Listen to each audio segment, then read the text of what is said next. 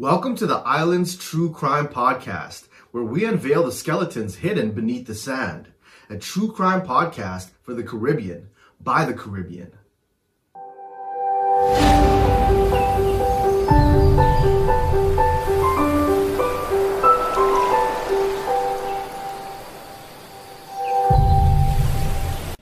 It was a dreadful scene in the community of Leslieland on Monday afternoon after two men were viciously gunned down. One of the victims, 28 year old Danny Charlemagne, was taken to the Tapion Hospital following the shooting, where he was pronounced dead on arrival, while Selen Francis, also known as DJ Sello, succumbed to his wounds at the scene of the incident. Danny Charlemagne of St. Lucia Welcome to the Island Tales, where we dive into true crime. What went wrong? St. Lucia is surrounded by beautiful beaches, but the inner cities are plagued by slum dwellings, also referred to as ghettos. The people of St. Lucia are also in general very hospitable, generous, and easygoing. They are rarely found to constitute a federal nuisance. Over time, though, the country has changed to an almost unrecognizable culture of crime and gang violence. This holds true as a well-known new generation Don Danny Charlemagne was killed in his neighborhood.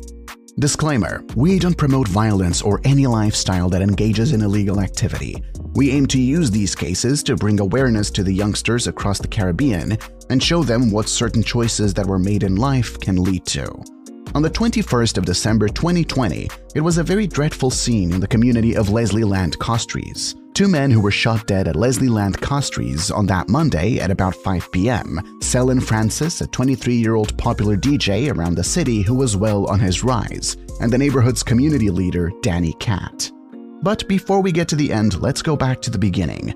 Danny was born in the inner city community of Leslie Land Castries, a neighborhood known for its breeding and harboring of criminal elements, but was also known for its love and caring atmosphere, where one can borrow sugar from a neighbor and one can drop their kids off at anyone's house to go run errands. Danny's mom was well known in this neighborhood, and his father was a respectable man. Danny first attended the St. Aloysius R.C. Boys Primary School, where he then went on to the Entrepot Secondary School. During this period of his life, he was known to be a bit troublesome, smoking some weed and getting into small troubles, but nothing too serious. It was when he moved to high school he took his true form. He dropped out of school in about grade 9 and embarked on his full-time career of being what is locally termed as Badman. He built a reputation for himself around the name Danny Cat. Before we get too far, you might want to ask why the nickname contains a cat, or what kind of cat. According to a source online, he is called a cat because indigenously and generally, cats are wise and swift. So, because of his quick-witted decisions and smart moves, they nicknamed him a cat. He became well known for his fearlessness and his willingness to go on any hit or mission. One of his likable traits was that he had always been a pro at things he has devoted his time to do. And to be fair, he was loved by his people. The people would always stand up to defend him on many occasions, and at other times, the populace would be the ones to rally around and support him. As someone who grew up in the streets, it would be expected that he is uncouth, unplanned, uncultured, or maybe have no vision. But this young man differs from this stereotypical classification. He was a fairly clear-headed man who knew what he wanted and how to go about it. He saw a future for himself and had been working towards it before his life was abruptly cut short. He, unlike many street stand-ups, has no criminal record. Or, to correct this statement, there are no instances where he has been convicted of any crimes. He was clean and has always been. Well, maybe not as clean as his police record may show. Danny Cat had quite a reputation for being a senior in the streets. Fucking pepper, free buzzy, you know them niggas, you know. them niggas are the Yeah, yeah, yeah. Fuck shit up. Gang shit, man. He frequented two spots, his home neighborhood and Grass Street. The two neighborhoods were in a long-standing feud against another rival turf, Wilton's Yard. We are unsure why the feud began, but it amplified after the death of Danny Cat's older brother, Kakoa, who was rumored to have been killed due to his blood affiliations with Cat. In 2009, Cat was arrested and imprisoned for possession of a firearm. Upon his release from his 2009 arrest, he found himself in a near-death accident that left him partially crippled in the leg. The insurance proceedings from that accident were the funding he needed to secure his position, and from there he went on a complete offensive attack on his enemies.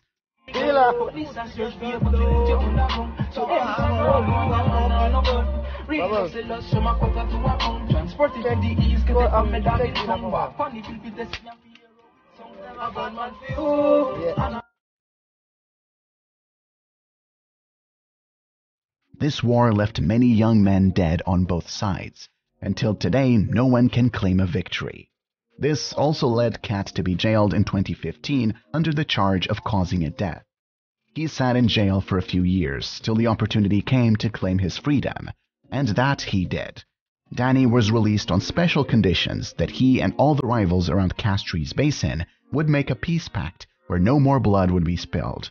He was bailed out by his main rival, which was a shocking turn in events, leading many to believe that he had turned a new leaf.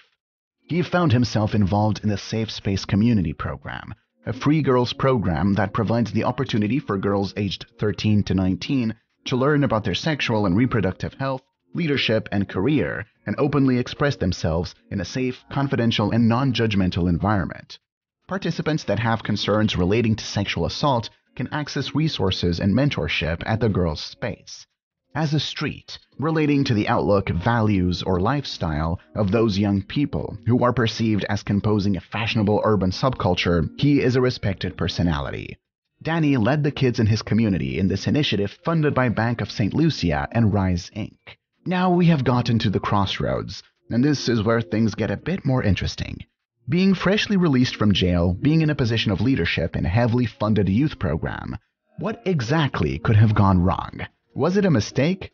What's the story behind someone who seemingly turned a new leaf? Well, rumor has it that on Cat's release from a three to four year bid in jail, he came out to see many of his juniors being in positions of power and dominating on the streets, where he once had to hold their hands and protect them from.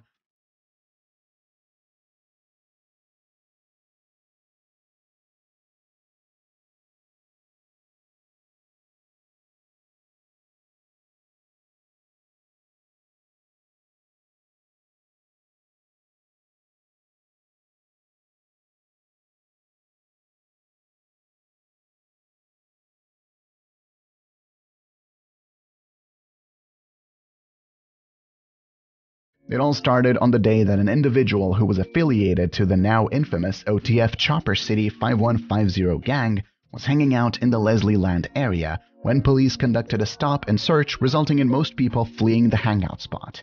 On his return, the now identified individual by the name of Cooley realized that the illegal firearm that he had hidden or in local slang had based was missing. It seemed strange to him that in a place where he felt safe and trusted his peers, that something like a gun could go missing. He called the leader and pleaded for the return of his goods, and was promised that the matter would be dealt with.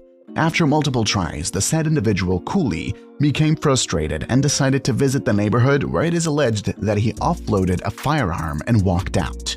If you are familiar with the streets, then you would know this was a big no and consequences and punishments would be administered.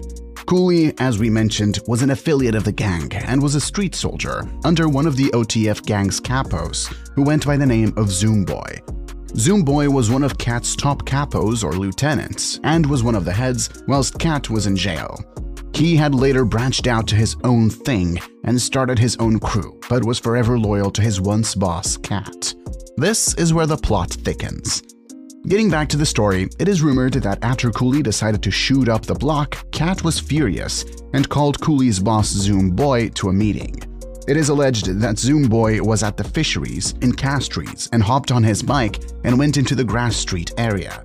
Upon arriving at Grass Street, he parked his bike and moved to the slums, a nickname given to the Leslie Land area. Witnesses state that he was met by Cat near the entrance, and within three minutes, two to three unknown assailants walked up and shot him in his head and all over his body. This incident occurred two months before Cat met his demise. Stevie Sharma, aka Zoom Boy, was pronounced dead on the scene on the early evening hours of October 12, 2020.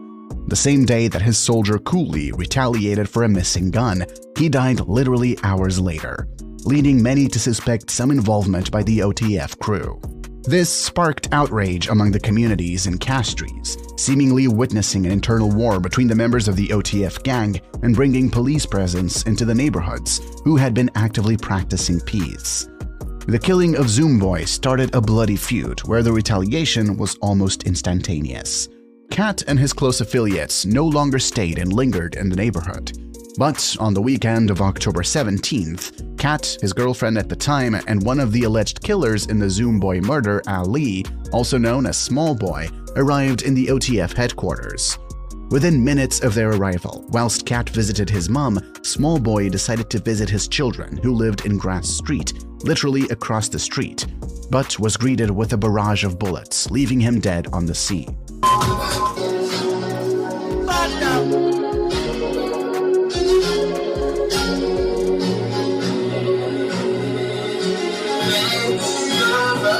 It is said that Cat dropped to his knees in horrors and surely considered that it could have been him.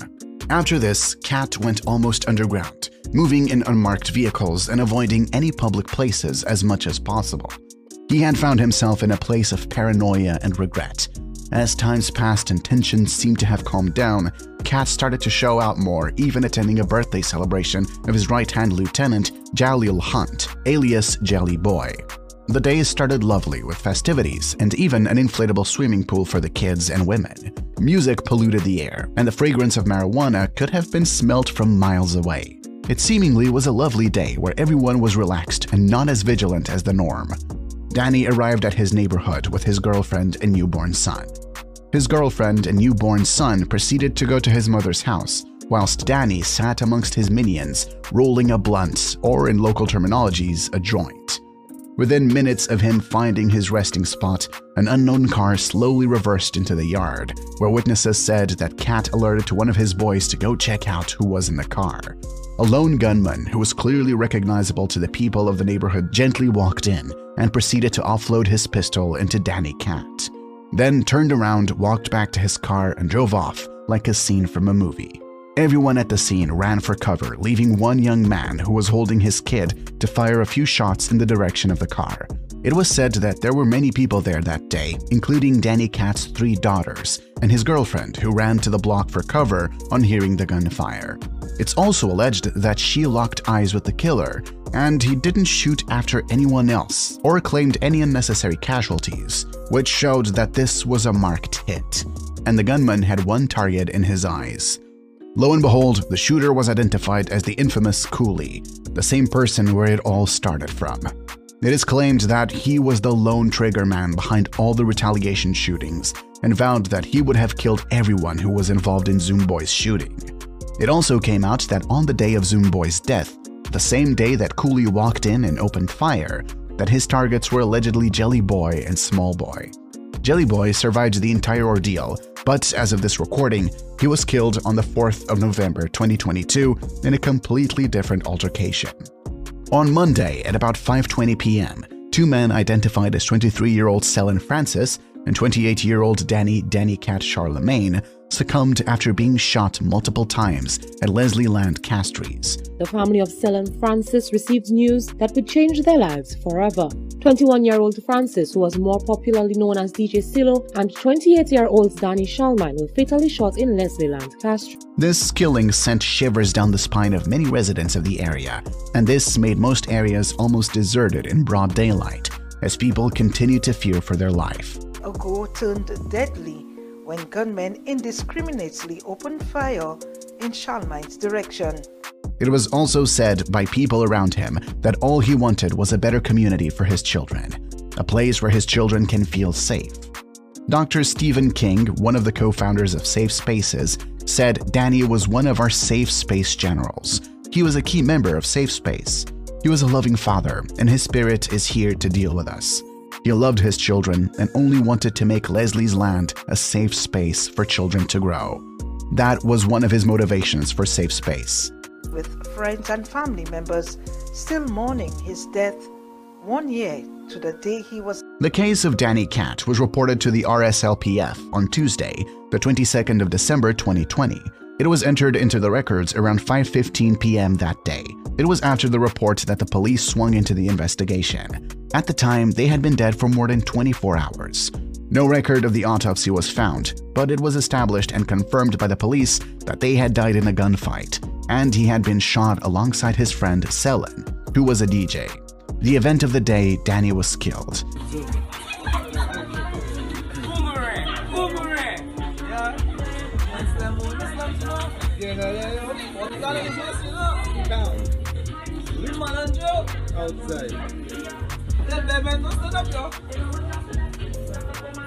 As narrated by the DJ's mother, was explicit enough. In an interview with the mother of the DJ, the events wore a new light as more light was shed on the backstory and what might seem to be the reason for the clampdown and homicidal murder of the two young men. Danny's DJ friend Selen Francis is described by his mother to be an easygoing and hardworking young man. She said she had always loved him and felt the pain of losing a son. She lamented the death of her son with utmost passion. My son is only 21 years old. He was still a baby to me. That crushed me. That had me traumatized. She continued by explaining that her son had never given her a headache. She doesn't have to worry about where her son is. Anytime he is not around, he is just doing his DJ at street parties. Francis worked as a DJ in a radio station and also as the DJ for street parties and events before he was filled with bullets from a gun. The grieving mother used the opportunity of the interview to appeal to the youth populace to renounce senseless violence and constitute a nuisance. She said, Sometimes some things happen, and you don't even know when you're dead or when you are wounded. So just be careful and be your person. All I am asking the youths of today is just to be careful. She got emotional to have realized that she had lost her first son to the incident. She was shocked when she woke up in the morning and realized her son is gone forever and she won't be seeing him anymore. The grieving mother also seized part of the time to call on the police, government, and all other authorities to find a quick and lasting resolution to the cause of the violence. I hope justice is served. I hope the police do their job, and I hope everything goes okay about my son. I know my son is innocent, and I know my son is not gang related. I know that for sure, and everybody that knows my son knows that is not violent. He is loving, quiet, and very respectable. The indiscriminate and sporadic shooting that took place in the community that eventually took the life of the two was not a coincidence. The report has it that other individuals too were wounded along the same line. Danny is said to have been involved in various peace forums, groups, and communities to restore balancing peace to the community. The superintendent of crime management in the area, George Nicholas, has said that Selen was not being pursued by police at the time of his death. This implies that the primary target was Danny, and Selen might just have been collateral damage. The whole community turned out for the burial of the young man, who has dedicated his life to finding a lasting solution to the long-lasting violence in the community. Though many do not agree with his methods, they all had something in common that they could agree on, and that was his intention. He has good intentions, and whatever he was fighting was in the good interest of the residents of all the residents. They were all out for his funeral, which was a loud one. Social media YouTube was used to cover the event, and it was indeed a sight to behold. Various people who came to pay tribute were there, as the people all wore long faces. People wrote many tributes on social media posts that declared the unsung hero of Leslie gone. Some of them read thus Danny, you saved me from me. You rescued me from my loneliness. You were the first person to accept me for who I am. Never cut me off. You kept trying to get closer to me. You could have justifiably come at me with hatred. Even though I tried to break that bond myself, you're the person in this world that I could call my one and only true friend. People call you Souza, but you will always be Danny to me. I miss you, Danny. Long live Danny. I am linking from the UK. Safe Spaces keep on with this brilliant project. Don't give up. You will be massively respected by communities and the governments you say you are spiritual soldiers and you never die. Keep the pressure on government ministers and show them that you are for real and not to be taken lightly. Develop a uniform that your members wear, collect donations, Get government grants. Don't give up. I love you, Danny. My heart goes out to his newborn, who would have no memory of his dad and won't remember how much his dad loved him. Fly high with the angels, my mob. You was a real brother to me. 5150. Let's teach emotional intelligence and problem resolution to the current youth To avoid a case like this in the future, let's start by creating better environments for our kids so they don't get influenced by thugs, wars, and guns. Condolences to the family of Danny Danny Cat Charlemagne and Selin DJ Sello Francis. Please, people, let's find a way to reduce crime.